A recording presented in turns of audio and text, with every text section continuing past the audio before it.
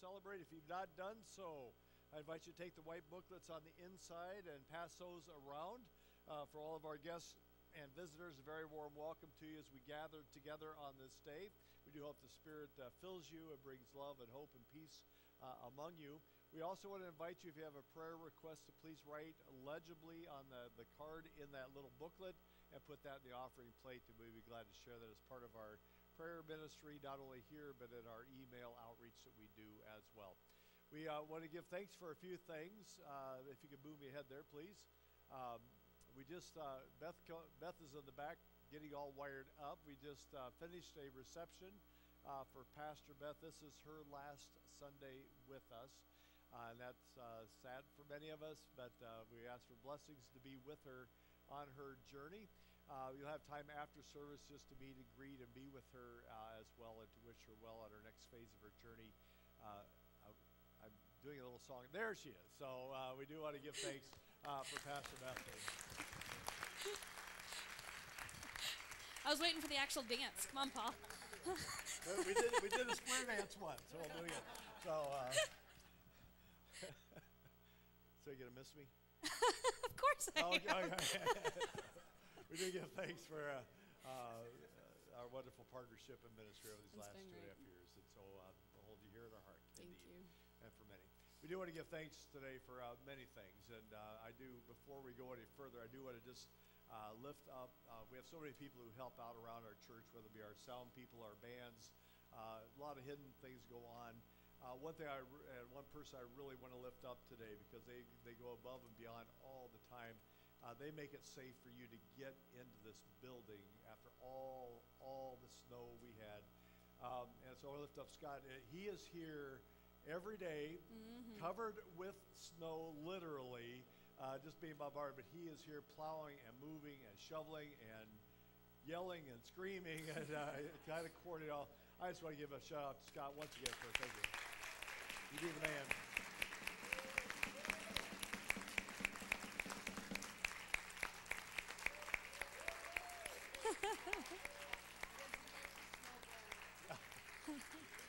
Yeah, Dave, Dave Paul wants to know if you can make the snow go away. Thank you, Scott, for that. Because I, I, I mean, he's here before everybody, and and uh, it's oh man, it's awesome. Thank you.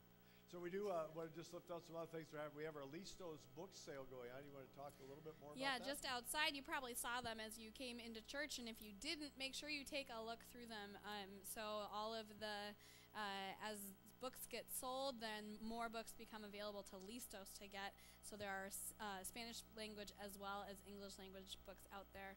Um, the company that is out there, Usborne, is amazing books. So if you have kids in your life, if you have neighbors with kids, um, make sure you take a look through them because they really are some really significantly awesome books. Um, and buy buy greatly so that we can benefit Listos and get them some new books as well. And they are great books. I've They are told. amazing. So we're going to have the battling nares this morning. Is this on now?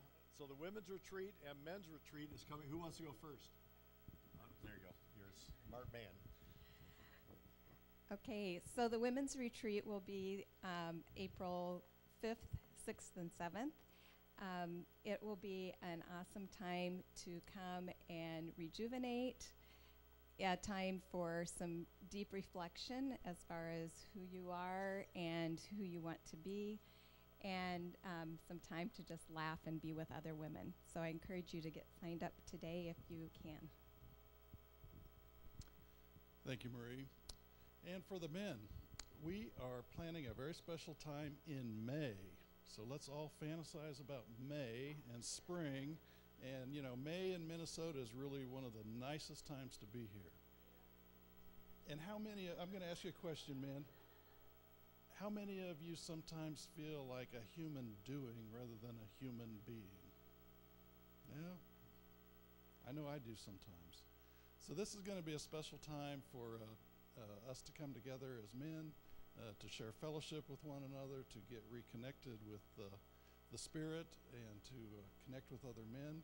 It is open to all men, even men that are not uh, members of this church. So if you have a friend that you would like to bring along, we would uh, certainly enjoy that. It is going to be at Mount Olivet uh, near Farmington It's a beautiful camp. It's a Lutheran church camp uh, with many, uh, you know, nature type grounds. We'll be doing some walking and contemplating, hiking, exploring, socializing, and having a great time. So we'd invite you to get registered as soon as possible so we can be sure to save a place for you.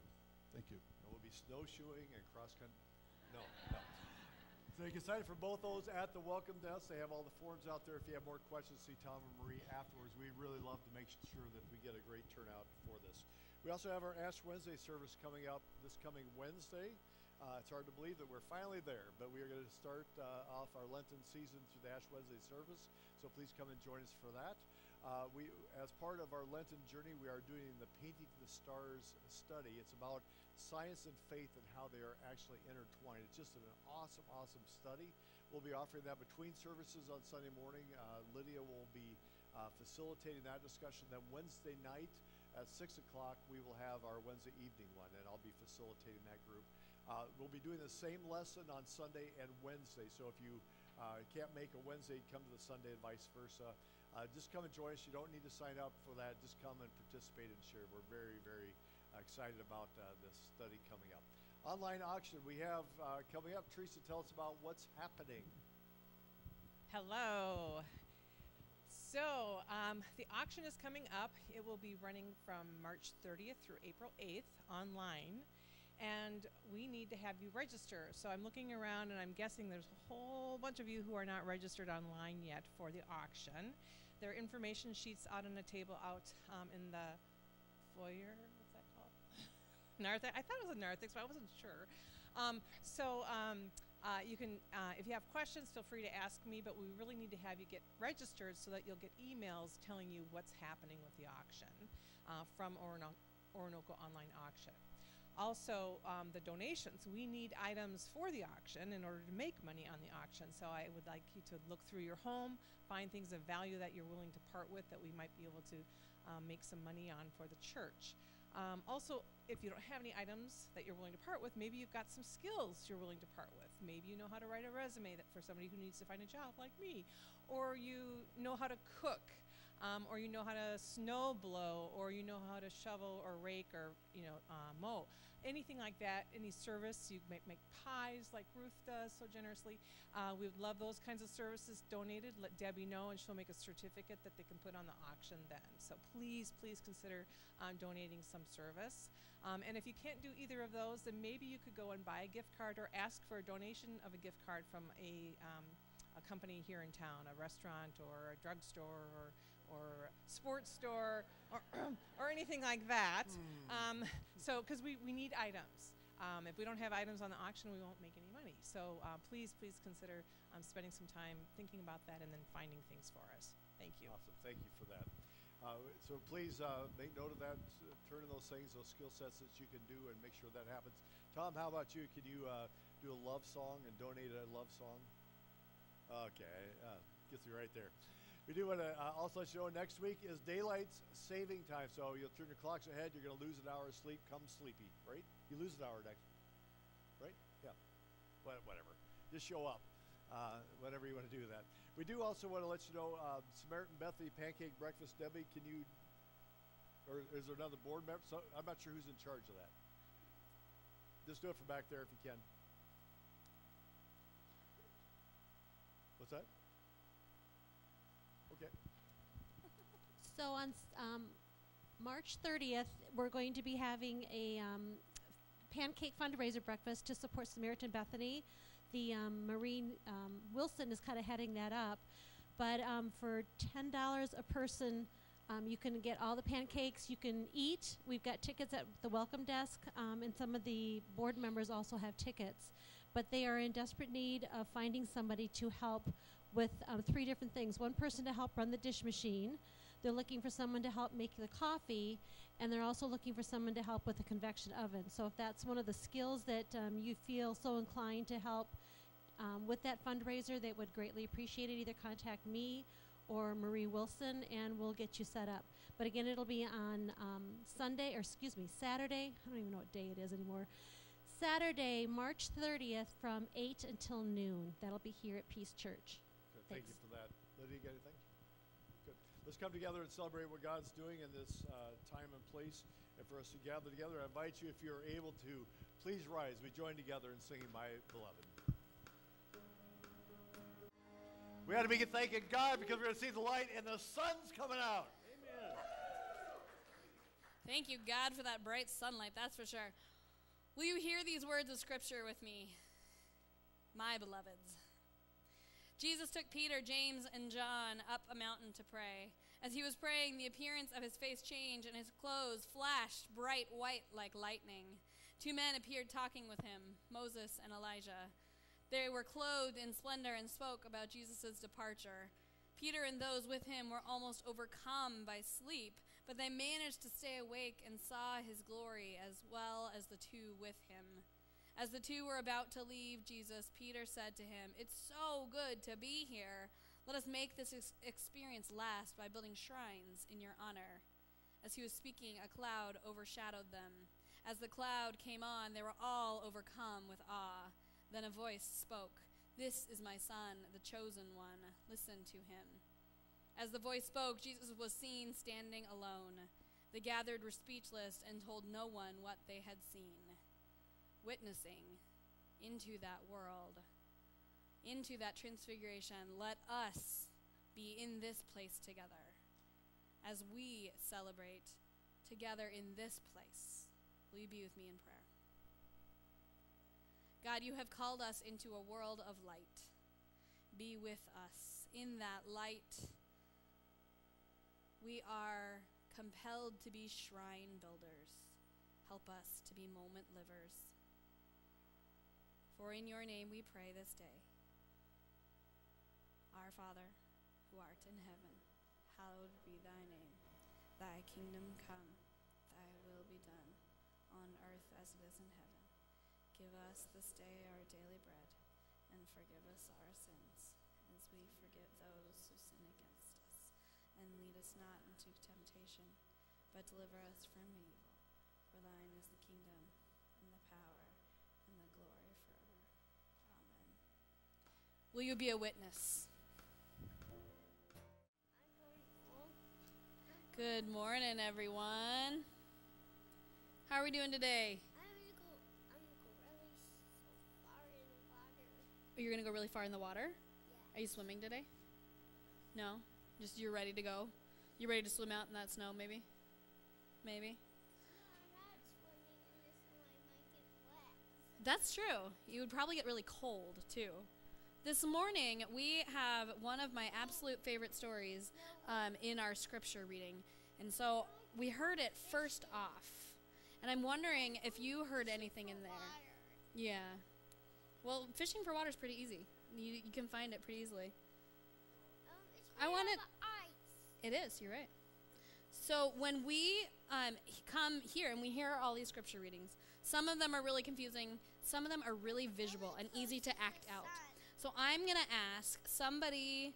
I'm gonna ask for three volunteers first. I need three volunteers. One.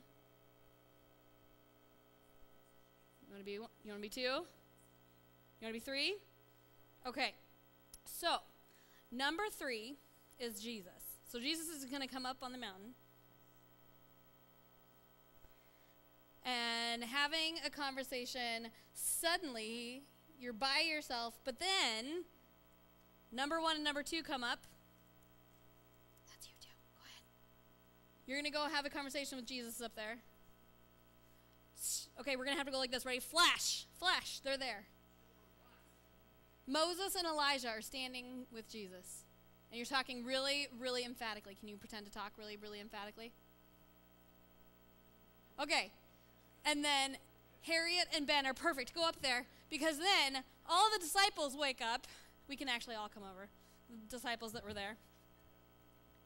And they see this, but suddenly they realize these two people weren't there before. And then a cloud comes down on top of them. So now we can't see anything. Okay, everybody close your eyes. You got clouds. You got clouds. You got clouds. And then the cloud lifts, and Moses and Elijah are gone. Ready? And Jesus is left alone. Does this make sense? Does it sound like fantasy almost sometimes? Yeah? Come on over here, Ryan.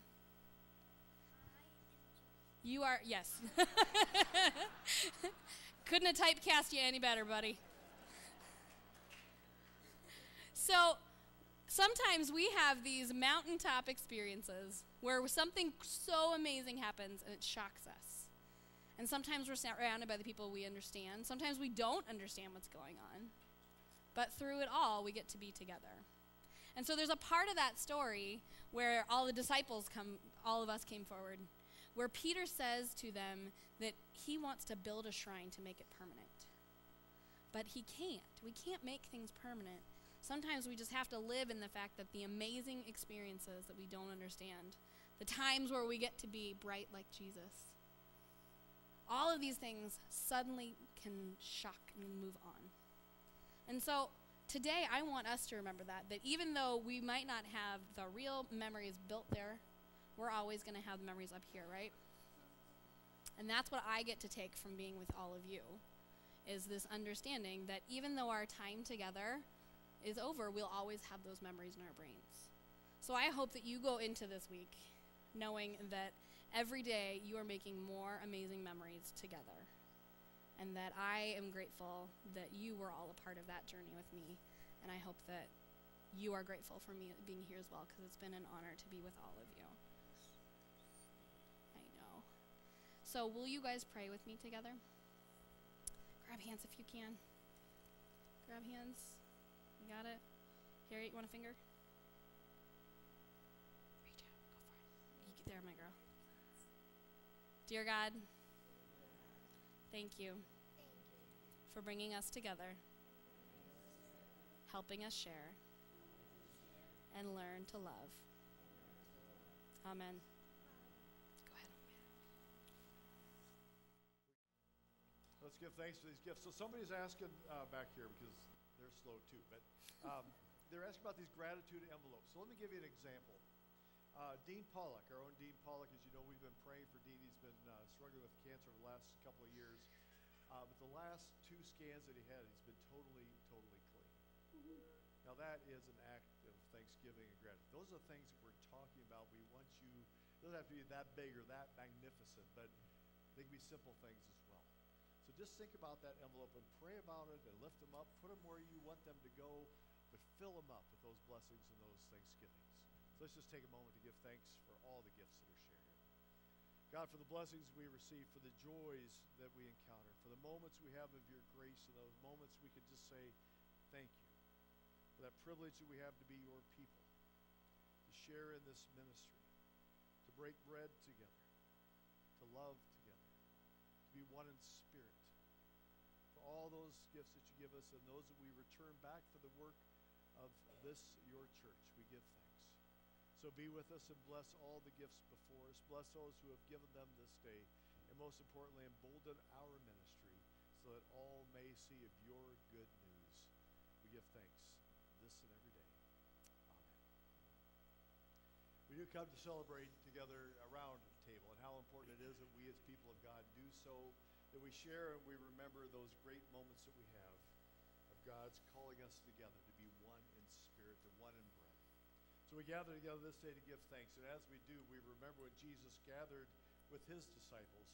And after a long day's work of ministering and sharing together, and after eating together, Jesus took the bread and blessed it and broke it and said, This is given for you. Take this in remembrance of me. In that same way, he took the cup, blessed it, raised it, and gave it to them, saying, Every time that you drink of it, remember me. And so we do remember that when we gather around the table, we know that all will be well because God is with us. This table is for everyone and anyone who wishes to come forward because this table doesn't belong to you. You can't take it with you. It does not belong to me or to any of us. It is God's table, and the God that we know and love and embrace is a God that welcomes all. So welcome to the bigger table, God's table this day.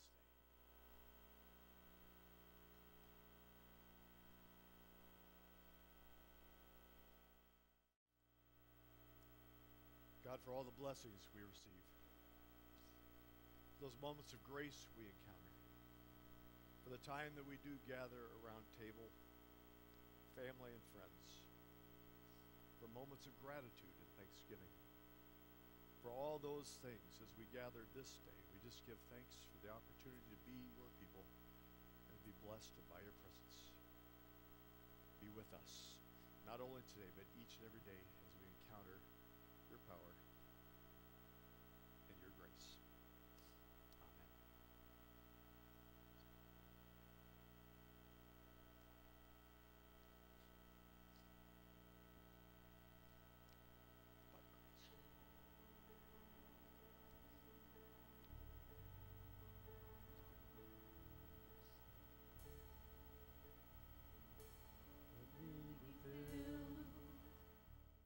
you be in prayer with me?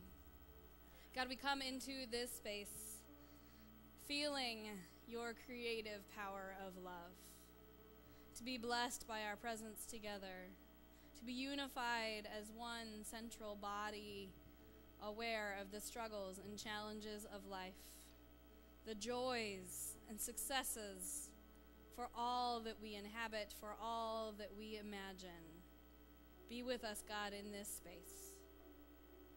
And into that space of prayer, we speak special prayers upon our hearts, upon our minds, for a new medication to bring relief, and for caregivers to feel relief.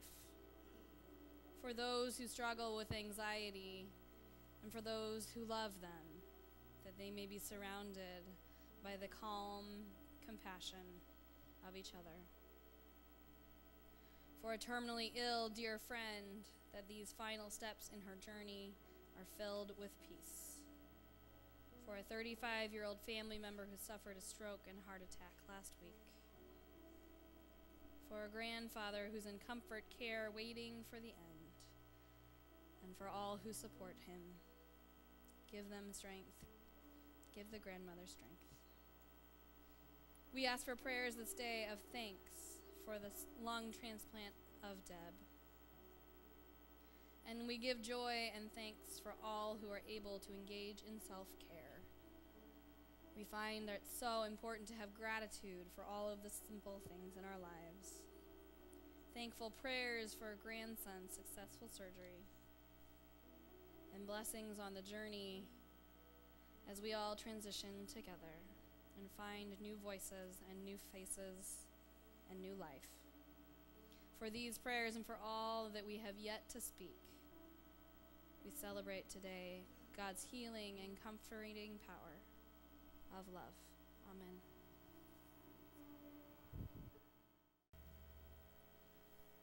Amen. This morning, we celebrate Transfiguration Sunday with a scripture reading from Exodus, from the story of Moses. So hear these words. When Moses came down from Mount Sinai with the two tablets of the covenant law in his hands, he was not aware of his face was radiant because he had spoken with God. When Aaron and all the Israelites saw Moses, his face was radiant, and they were afraid to come near him. But Moses called them. So Aaron and all the leaders of the community came back to him, and he spoke to them. Afterward, all the Israelites came near him, and he came, gave them all the commands that the Lord had given him on Mount Sinai. When Moses finished speaking with them, he put a veil over his face. But whenever he entered God's presence to speak, he removed the veil until he came out. And when he came out and told the Israelites as he had- been commanded, they saw his face was radiant. Then Moses would put the veil back over his face until he went in to speak with God again. As we reflect this morning on that reading, also hear once again these words from Luke. Jesus took Peter, James, and John up a mountain to pray.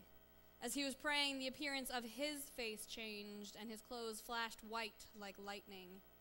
Two men appeared talking with him, Moses and Elijah. They were clothed in splendor and spoke about Jesus' departure. Peter and those with him were almost overcome by sleep, but they managed to stay awake and awake and saw his glory, as well as the two with him. As the two were about to leave, Peter said, It is so good to be here. Let us make permanent this experience and build shrines in your honor. As he was speaking, a cloud overshadowed them. As the cloud came on, they were all overcome with awe. Then a voice spoke This is my son, the chosen one. Listen to him.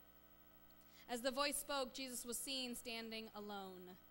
The gathered were speechless and told no one what they had seen. So ends our readings this morning. And I must tell you that I apparently have a rocky relationship with Transfiguration Sunday.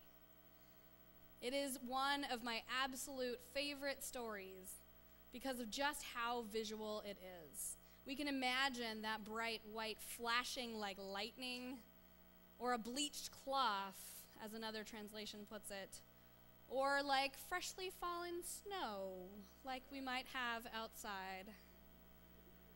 And in fact, a few years ago, in my first winter in Massachusetts, we had to cancel worship on Transfiguration Sunday because the snow was that heavy, something that church had never done in the life of their other pastor. It was so much that we could barely open the doors of our apartment complex to let Sassy out to do her business in the morning. She literally had to bound through the snow to find a place outside in those two foot snowdrifts. And last week, it looked much the same here. I guess God is really trying to tell me something about the radiance we hear about today in some very different ways than that community that followed Jesus would have been able to understand. Snow in the Middle East might not have made sense to them, but to us in the frozen spaces we inhabit, snow is much a metaphor for transfiguration and the radiance only God would ask us to understand. For Transfiguration Sunday is about seeing the world in a new way, trying to figure out how we'll respond to it. In the passage from Exodus, we hear the story of Moses being transformed by his relationship, his time with divine. In that building of the relationship, his face changes. He radiates back to the people all that he encounters with God and the people see the change.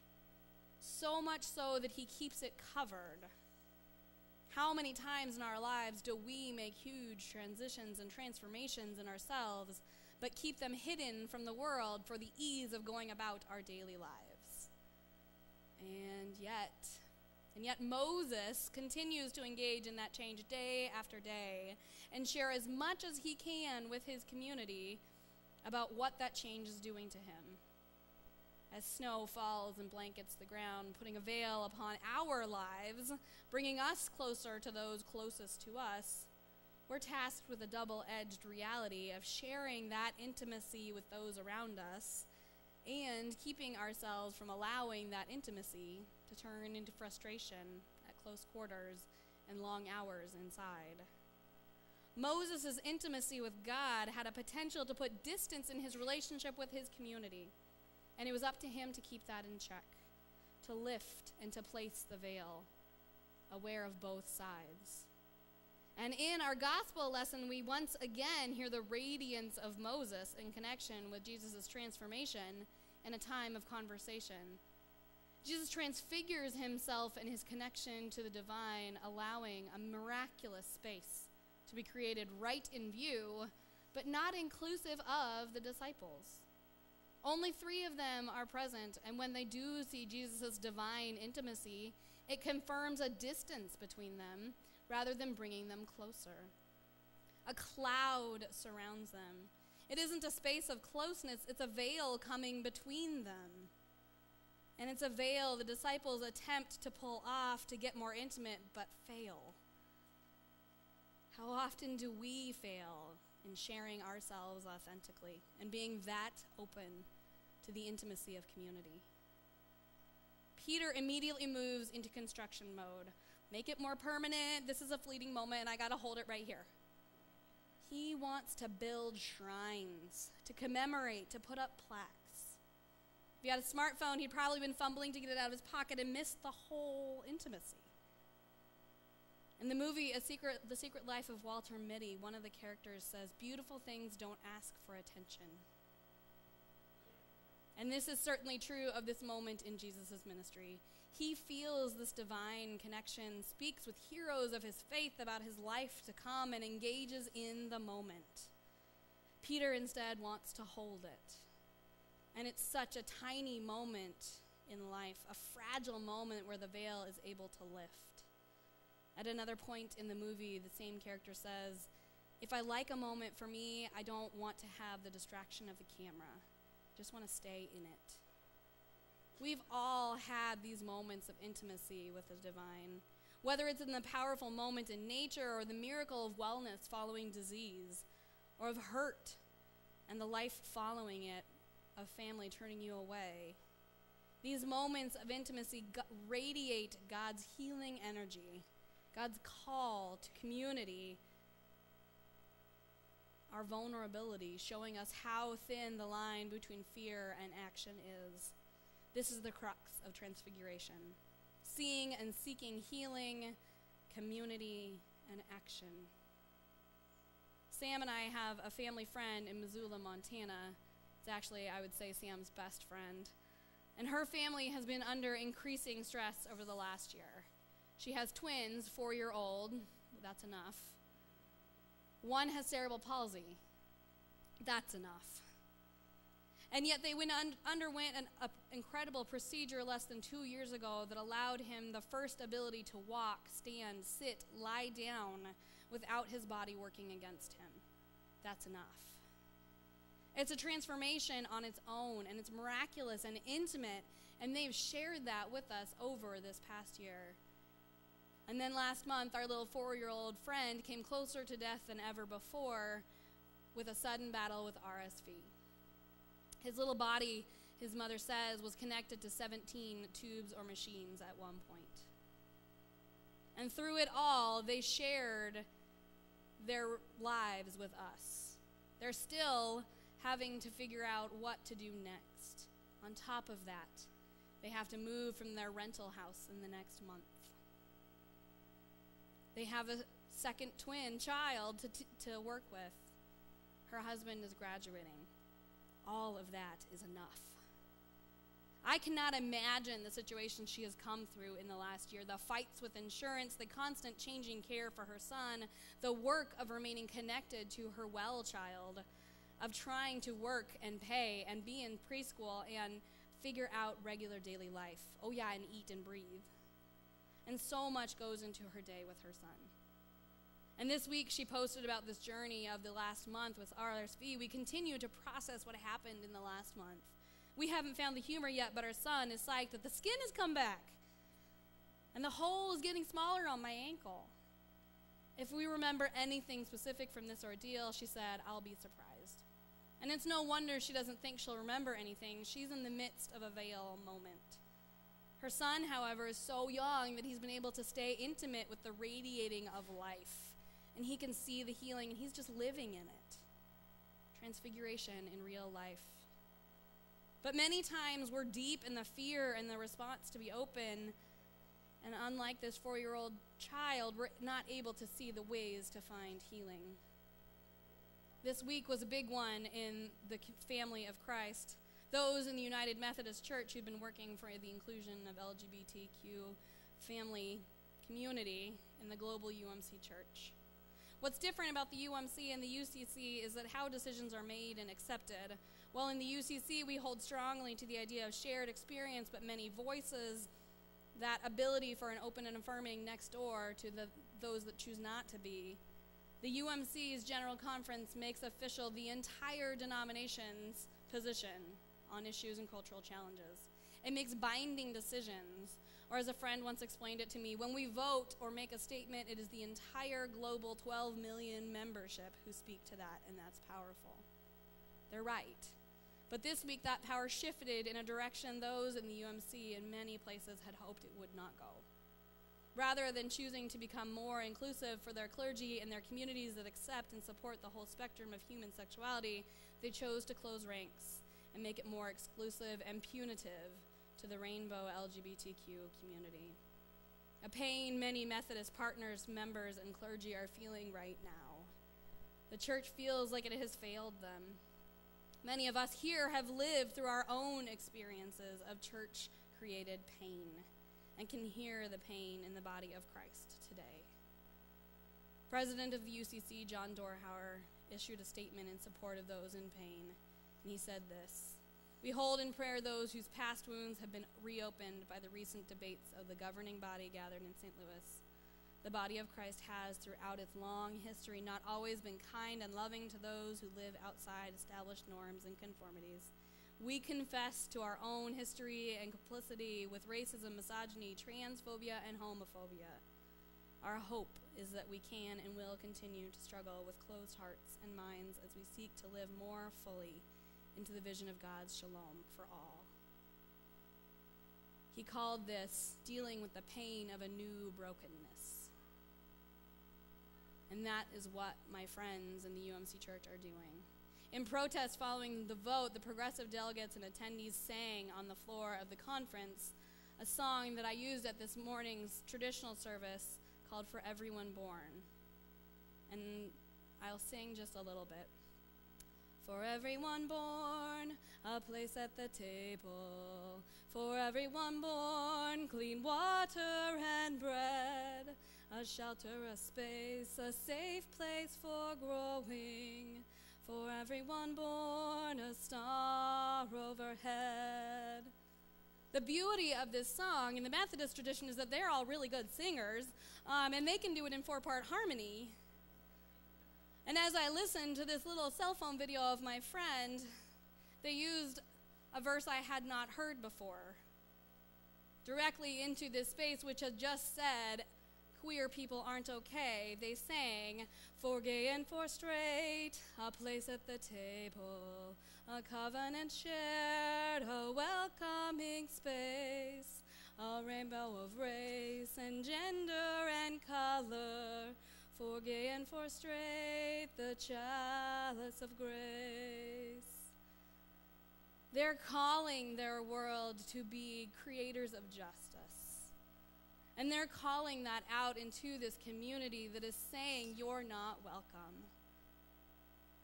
And while the church is in that cloud of injustice that swirls before change can come, the story of transfiguration tells us it won't last. The veil can and will be lifted. A colleague who attended the conference wrote this the morning after the vote I wake this morning with so much hope and joy. Today might get rough, but oh, the spirit is restless, and we will get shaken up. I praise God for children that speak louder. Spoiler alert hate don't win. For his compassion in his community to recognize that they will make a way forward. When I, as a UCC, would probably say I'm out the door, is admirable. It's transfiguration. Transfiguration surrounds us all these days personal pain and healing, societal pain and fear mongering, the calling for action in community, negotiating the emergencies of keeping the plates of kids, work, finances, and still trying to negotiate our dreams at the same time. Transfiguration is needed. And so it's rather fitting that this Sunday is my last Sunday with you all as well as transfiguration is going to be needed here at Peace too. The global church is changing. The needs of the Rochester community are changing. Peace's engagement with community is changing. And all of these things are happening as our ministry is in some flux too. I've had the honor of hearing from many of you today and over the past month about your own grieving that as we embark on this separation. It's hard for everyone to have a vision of where we thought we were and where we want to be. We engaged in building work together. We listened for the still small voice of divine transformation together. We tried new things together. We called ourselves to remember and take an active part in our history together, and I'm grateful for it. I don't know that I can be like my little four year old friend and see the healing taking place. I might be more like his parents. But I can try. We can try.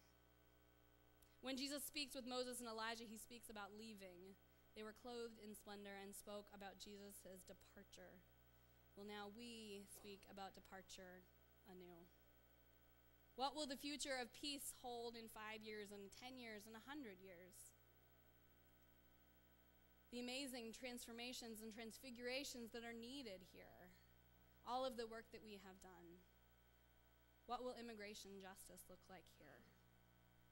What will church and kids and youth and small groups and time together and eating and what will that look like here? You have the opportunity to see the thin veil of vulnerability, to battle with a fear of loss and holding on, but also to engage in some truly creative ways of being church together, to shine forth like the radiance of Moses' face, like the flash of lightning, like the brilliance of a rising sun upon freshly fallen snow. This is what is yet to be revealed. While Peter, James, and John battled with sleep, overtaking them at the impossibility of the scene of radiance, transcendence opened before them.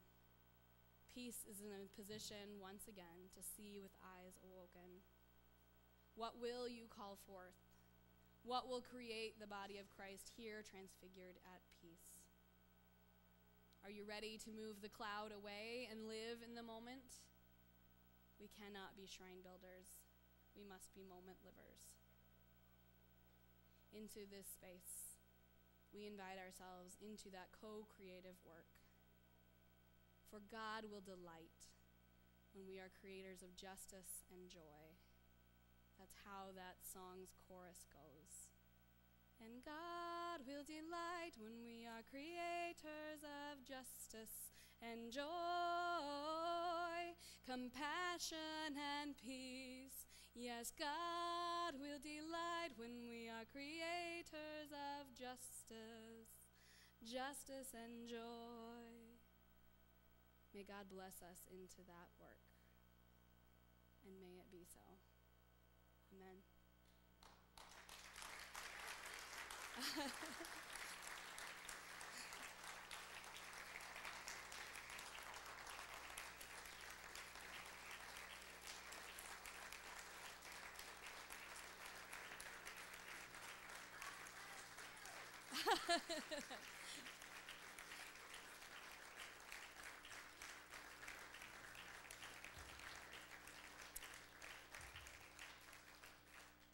For my last time here, let us say in prayer this is your church.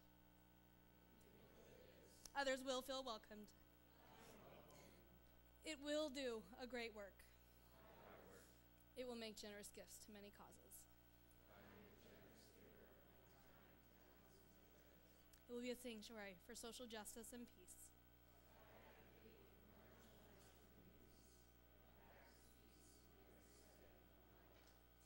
It will be a church that embraces all, builds community, grows faith, and transforms lives. Therefore, with the grace of God, be a safe and inclusive church living God's radical message.